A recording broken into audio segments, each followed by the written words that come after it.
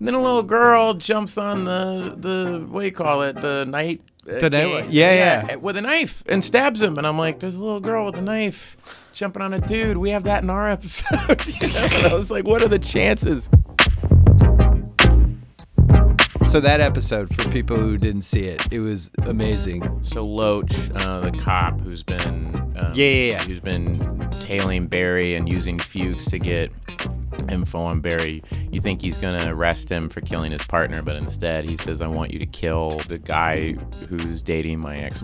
Right. So he- name Ronny Proxin. It's a flip. So you go to the house, or Barry goes to the house. I go to the house to kill Ronny. I tell Ronny, who's this kind of stoner guy, hey, you know, I'm not gonna kill you. This guy wants me to kill you. I don't want to. But um. But then he walks into and go to another room. And he He's goes, got "Yeah." taekwondo trophies yeah, everywhere. Yeah, the guy's a taekwondo. I find out he's a taekwondo. he's like one of the best taekwondo guys in the world. yeah, that was a problem. When I was writing it, it was a fun thing to write Barry trying to convince this guy, you know, this thing, and then you go, okay, they go to get the bags, and you go, well, what's the worst thing that he could see when he goes to get the bags? They're just like, oh, what if he has a taekwondo trophy? And then it's like, what if the whole room's filled with taekwondo trophies? And I was like, oh, that's good. So then a fight ensues, which just uh, I gotta give credit to this guy Wade Allen, our stunt coordinator, and Daniel, um, who plays Ronny. Yeah. he's in a ton of stuff. He's like the Matrix. He's the guy that you remember Matrix 2 when they had that big fight on the freeway. Yeah. He's the guy that jumps and lands on the hood of the car and smashes it and it goes into slow motion. I think that's Daniel. One of the nicest guys in the world. Um, So you're sketching out this whole fight scene. yeah, yeah, with with Wade, and I just said I would like it to be one shot. But, you you haven't done a lot of those though. No, We have to remember like sequences of moves and punches and yeah. I, I just wanted it to feel kind of just like one. I directed the episode too, so I just I wanted it to feel kind of just this meandering um, camera and uh, the DP Paula Huidobro. Initially, I was gonna have them follow the, the camera was going to follow them everywhere and she said oh it could be interesting if they just kind of come in and out of frame because it, it makes it a little bit more you're kind of uh, observing it and, Yeah. and- and more you know and it seems like you're the point i always think of that shot as you're almost from the point of view of someone telling them to stop you know it's like Right. guys guys come on you know and then they go ugh and then they go off this way and you don't want to look where they fell and then you look over oh they're on the ground now you know Yeah. Wade Allen, it was really cool. I kind of told him what the shot was, and then he choreographed a fight specifically for that shot, so it would play all out to camera. So all the moves and everything very specific for the shot. So it's like the shot came first, the camera move came first, and then he went, oh, "Okay, well here's what we'll do. We'll go. We'll just play it against this wall." And we'll So it ends with him basically getting a broken trachea. and then you think it's over, but then he goes in and he gets nunchuck, nunchucks. and then he has two nunchucks, and, and, and Daniel can do that, obviously. You see it. He starts doing nunchucks. And then I found it so funny that when we were in the edit, Jeff Buchanan, the editor of that episode, I said, Can you just double it?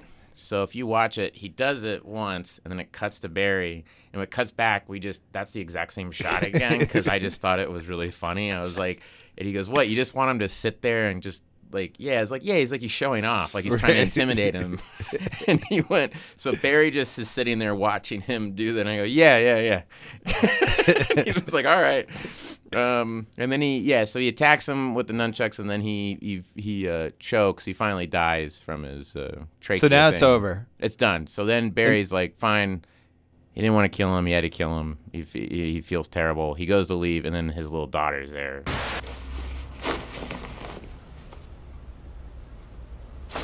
Dad? Hopefully, the audience goes, "Oh no, Barry's gonna have to kill a kid." The audience went that way. I can Yeah, tell you, my so- wife oh and my I God. felt that way. So the girl leaves. She goes, Dad, and she runs out. Barry goes to leave, stops, puts his mask back on, goes to find her. Um, he says, Hey, I'll, you know, little girl, you know, we'll, you know, I could take you to Chicago. I could do whatever, but he can't. She saw his face.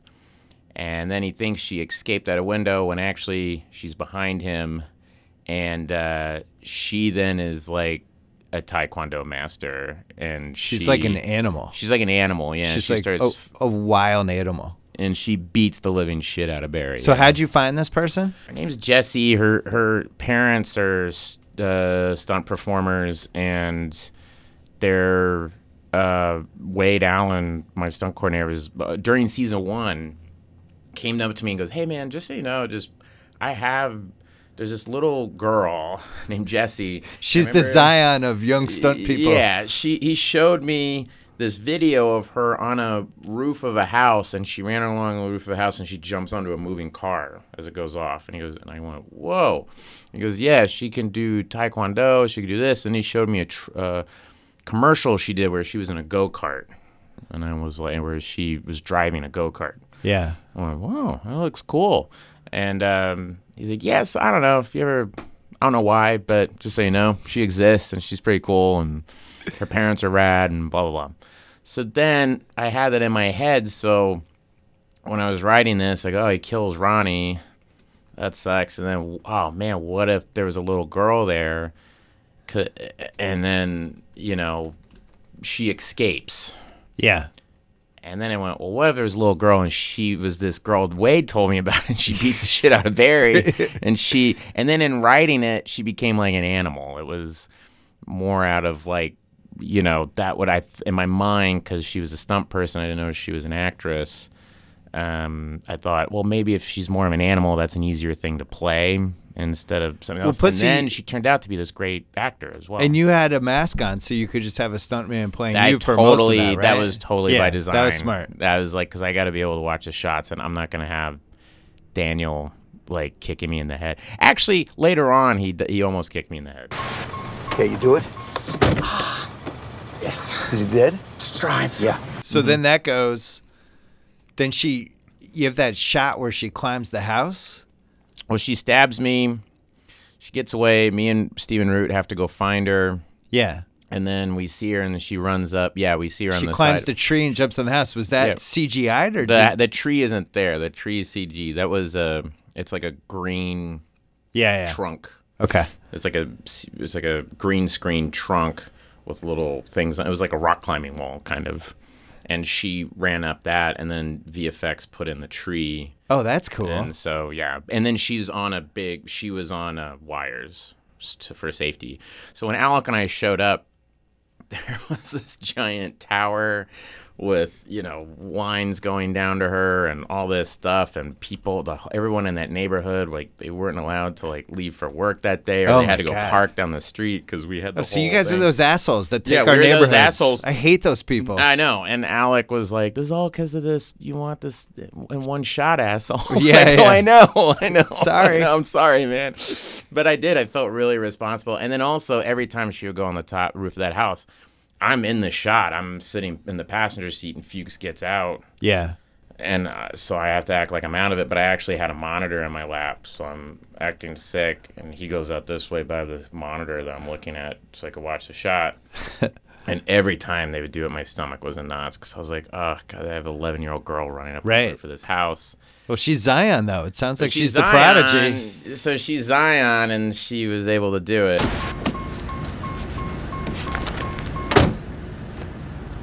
Okay, she's not human. And then later, there's a scene where she jumps on the roof of the car, and then she gets, she's able to do this move where she gets through the back of the car, Yeah. and she bites Stephen Root on the on the face, Right.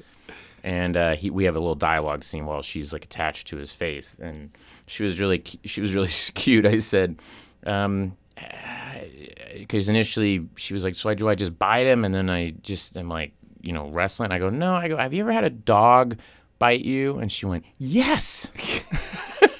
I go, you know when a dog kind of latches onto you and it kind of like goes dead eyed? Yeah. She went, yes. Like she got so excited. She goes, I know exactly. I've had that happen. Oh, Jesus. and it was really sweet. She's like, I know what you mean. And I was like, yeah, do that. And then just, you know, just kind of look off dead eyed, you know, and breathe breathe a lot. Just take her off your face. I can't Why? Because I super glued my hands to the steering wheel. So then after that, it ends up in the grocery store, and there's another fight. Yeah, I get to the grocery store That's thinking I'm that all show good. just that show's just going and then for a I half turn hour. over and there's Ronny isn't dead. He's getting a neck brace in the same thing. And that's when Daniel almost kicked me in the head because he walked up to me and he did like a roundhouse and I had to duck and I wanted it all in one shot where I Yeah. duck and he hits the stuff and I get him I'm like, come on, don't be an asshole and all this. Um, And Daniel, though, I say that I think I was nervous because he showed me it was amazing. He went full roundhouse, full speed, and went and just stopped right there, and then could go on this side, that side. And he goes, "See, I could go here, I could go here. I will not kick you. You'll be fine, man. You'll be fine. Don't worry, don't worry." And all this. So I was like, okay. Jesus. But uh, one of the nicest guys in the world. Um, and our favorite guy actually was a stunt guy. It was Matt Damon's stunt double. Is in that he's the guy that he headbutts, the guy Yeah. who's stacking the things. That's Matt Damon's longtime stunt double, and Alec loved talking to him because he had a really thick Boston accent. Oh, really? And Alec went to Harvard and lived in Boston for a while. So Alec was just like, "Oh man, I love this guy," and he was just, I, I mean, those are things no one will find funny, but in the edit bay, our favorite, the thing that made us laugh the hardest is when he comes up and he goes, "Hey guys, come on," and then and then Daniel headbutts him and he goes, "Caw!" like that. Calm down. Hey, come on, guys. And he did that on purpose to make us laugh. He went, "Caw!" like that, and we fell down laughing when we shot it. yeah. And actually, the hardest we laughed while we were shooting it is uh, when Loach gets it. When Loach he shoots uh, Daniel in the face, and then he thinks he's dead, and then he goes to shoot Barry, and then Daniel comes back up like the Terminator, Right. and when he turns around, he does this roundhouse kick. Well, my favorite thing was John who plays Loach. I said, "Turn around," and I kind of saw it as like he turns around, and goes, "Oh," you know, he's startled. But instead, he played it where he turned around, and he went, like, "How the fuck are you still alive?" Right. like give me a break and then he swings around and that's a dummy head so we had a dummy head that daniel could really just kick really hard Yeah.